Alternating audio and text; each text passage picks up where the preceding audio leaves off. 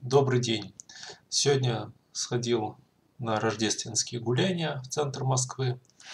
Вот, и оказалось, что это несколько хуже того, что я ожидал. Вот, очень много народу, мы пошли группой, человек там 8.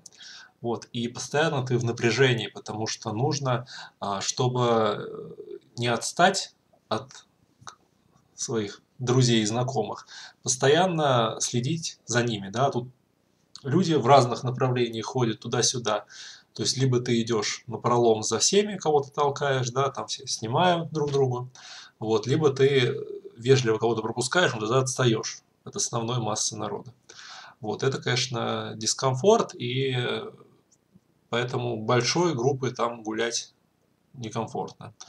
Вот, еще слева какой-то метал алкоголик толкнул, говорит, ты что то толкаешься, начал, но я с ребенком за руку иду, что я там буду с ним разбираться. Вот это все на э, этой самой а, площади основной, э, манежной. Вот. Там сейчас еще 6 числа зачем-то открыли автомобильное движение, людям не протолкнуться. Вход на охотный ряд закрыт, нужно ли идти до Манежной площади, либо идти до Театральной. В общем, обошли там вокруг вот какие-то там глинтвейны продают, какие-то вот эти инсталляции, около которых все фотографируются. Вот, в общем, очень странное, конечно, мероприятие.